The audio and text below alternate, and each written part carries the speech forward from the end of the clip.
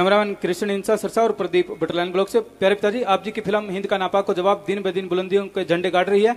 आप जी ने जो भारतीय सेना को वह तिरंगे झंडे को जो मान सम्मान दिया, वो बेमिसाल है। और भारतीय के तिरंगे के प्रति सम्मान बहुत बढ़ा है।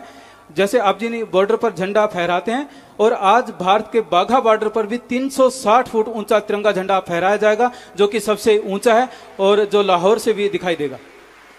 वाह जी देखो नई नई चीज़ें होने लगी हैं। जैसे ट्रेलर आया था तो वो आतंकवादियों को पकड़ा गया। और जैसे फ़िल्म आई है तो तिरंगे का मान सम्मान बढ़ता जा रहा है।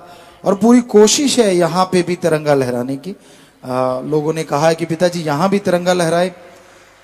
तो पूरी कोशिश और साथ संगत तो जब भी हम बात करते हैं लाइव जैसे आज रात को भी होने वाली है तो आप ज़्यादा से ज़्यादा लोग उनसे जुड़ते हैं गजब है। अभी हमने कुछ मिनट ही हुए होते कि हज़ार पंद्रह सौ तक पहुँच जाती है संख्या। तो ये कमाल है, लेकिन आप और भी बढ़ चढ़ के उसको जुड़ा करें। और शाबाश बेटा, आशीर्वाद आशीर्वाद। और यहाँ भी कोशिश है कि तिरंगा लहराएँगे।